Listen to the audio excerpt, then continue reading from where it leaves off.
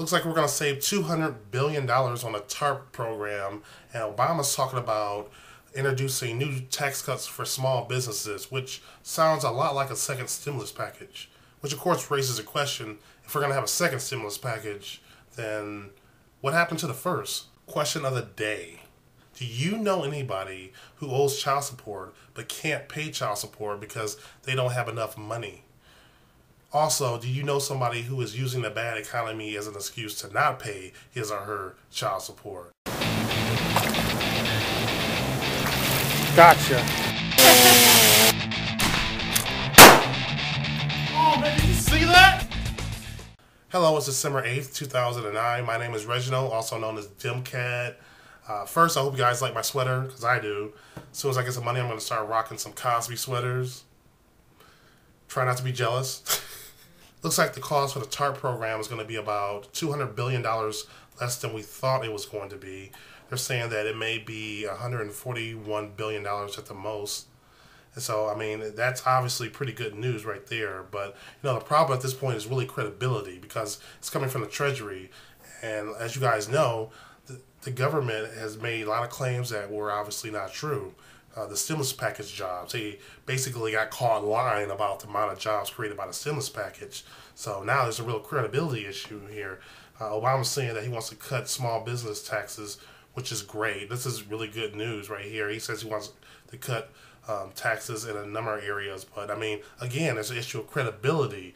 Now, he's proposing that the government uh, focus on creating jobs by um, promoting small business growth, infrastructure reinvestment, and investing in energy efficiency. But I mean, the whole problem behind this is that it sounds like a second stimulus package. And if it's a second stimulus package, you know, will it really work? Because obviously, if you're working on a second stimulus package, it only means that the first one didn't really work. Obama's approval ratings has uh, hit the lowest in his presidency. Uh, Gallup has them at 47%. This is the lowest that they've seen a president uh, get to at this point in the term. And I mean, it's not a big surprise for me because there was always a big gap between uh, his personal popularity and his policies. People really liked him a lot in the beginning. They really hoped he could really turn things around, but they didn't really really like what he was doing. So I thought that was kind of awkward, and it was only a matter of time until people realized that you can't separate the man from his actions. Child support suffers in a bad economy. A lot of people are suffering. People are making seven, eight dollars an hour. and they can't afford to really pay a lot of child support and a lot of people are getting into trouble because they aren't making enough money to pay the child support.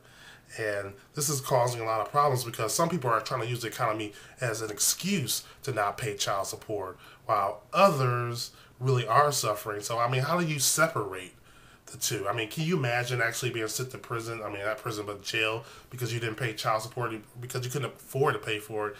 I mean, can you imagine having your face on a billboard basically saying that you're a deadbeat when you lost your job. And I mean, in this article, uh, this judge talks about how a mill was shut down and how factories were shut down and people are really suffering. They don't really have the money. So I don't know. What do you guys think? Obama, his administration is now saying that they're only going to lose thirty billion dollars on an auto bailout.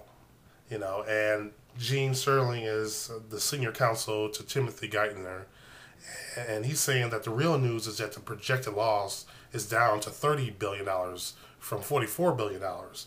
But you know, if these are loans, then I mean, how can that really be good news? I mean, you're still losing thirty billion dollars on a loan. And what happens when more people get laid off? How many people are going to be buying a car when they don't have a job? What happens when things continue to deteriorate? I mean, there's there's no cash for clunkers anymore anyway. So obviously the sales are going to return to the, the current to the levels they were before. So I mean they're still going to lose money. So sooner or later they're going to be asking for another bailout. So I don't really view that as really good news. The budget. Okay, we are already two hundred and ninety-two billion dollars in the red. This is according to the Congressional Budget Office. Um, they're saying that in the months October and November, the first two of this new fiscal year, uh, we were pretty much at 200 and 292 billion dollars in a hole, and this is even greater This is even even greater uh, loss. This is even bigger hole that we were facing when we were looking at a 1.4 trillion dollar deficit last year. So last year when we were setting this incredible record for deficits, we still weren't losing money at this rate. Copenhagen. I haven't really mentioned that that much on this channel, but I do mention it a lot on my blog. So if you're into that kind of stuff, you know, there's a lot of things I'm going to talk about on my blog that I won't have time to really talk about here on YouTube. So there'll be a link in my description box. There'll be a link to the articles for all the stories that I was talking about in this video. Question of the day. Do you know anybody who owes child support but can't pay child support because they don't have enough money? Also, do you know somebody who is using the bad economy as an excuse to not pay his or her child support? I want to hear what you have to say about that. Alright guys, please rate this video. Please comment. Have a good day. Bye.